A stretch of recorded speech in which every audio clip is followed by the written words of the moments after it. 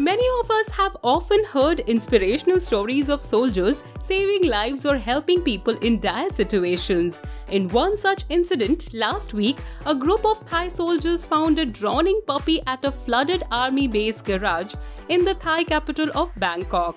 The pup was only two days old and had already turned blue. In an attempt to save the pup, one of the soldiers, Virafon Sukudom, decided to lay the animal down and tried to save and tried saving him by using the cardiopulmonary resuscitation CPR technique. A fellow soldier captured the emotional moment and others cheered as Sukudom tried to revive the animal.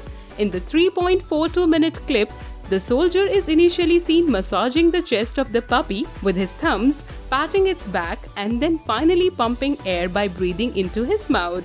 Miraculously, the tiny pup grasped to response to the rescuer and came back to life.